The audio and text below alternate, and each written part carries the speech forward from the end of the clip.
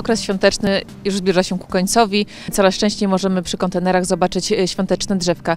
Co zrobić z takim świątecznym drzewkiem po świętach?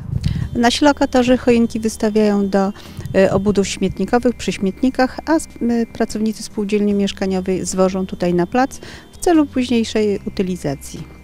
Czyli przeznaczamy do spalenia albo wywozimy do MPO. Czyli takie drzewko po świętach jest e, w sumie dobrze spożytkowane, czyli idzie na energię cieplną.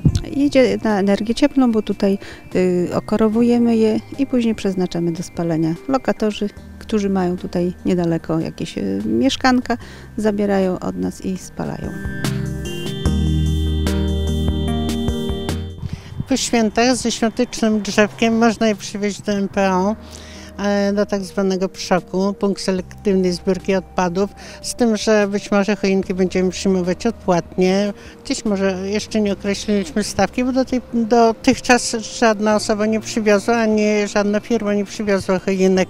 Myśmy te choinki zebrali, większej ilość wywieźli do spalarni odpadów w Białymstoku, ponieważ do spółki Lech wywozimy wszystkie odpady e, niesegregowane. Segregowane oczywiście oddajemy do recyklingu. Choinka jest e, odpadem biodegradowalnym, tak jak liście, trawa bądź drobne gałęzie. E, Uchwała Rady Miejskiej zezwala spalać na wolnym powietrzu takie odpady typu e, choinka.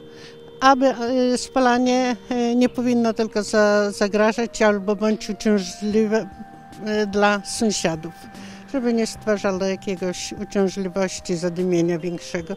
Ale choinka to małe drzewko i nie sądzę, że e, sąsiadom jakoś w jakiś sposób było uciążliwe.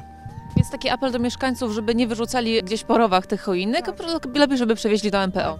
Tak, zapraszamy do MPO.